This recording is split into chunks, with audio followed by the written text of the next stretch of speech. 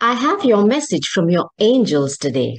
Overall, it is a time for a complete overhauling of your existence. Do you feel bored with what you do in your daily life every single day? Do you feel like a robo on autopilot? There is an inner guidance, a nudging that is prompting you to bring about a change, to move away from the old and try something totally new. Don't let fear cripple your creativity and believe that the guidance you are receiving is on point and act on it. Your guardian angels support any new venture that you start right now.